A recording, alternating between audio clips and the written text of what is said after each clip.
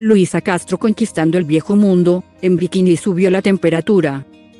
Hace unas semanas, la influencer y modelo profesional Luisa Castro compartió con sus seguidores uno de los momentos más importantes de su carrera cuando posó para las cámaras con Bella Son en la isla griega de Mykonos.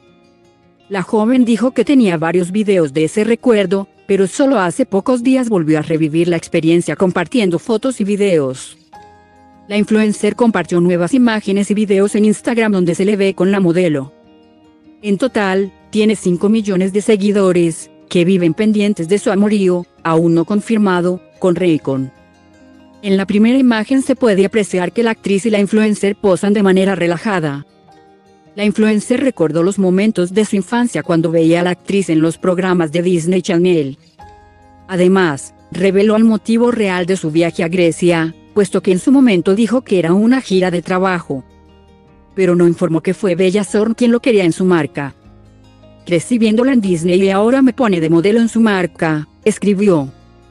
Además de disfrutar de la experiencia de ser modelos, las chicas grabaron algunos videos bailando. Además de disfrutar de la experiencia de ser modelos, las chicas grabaron algunos videos bailando.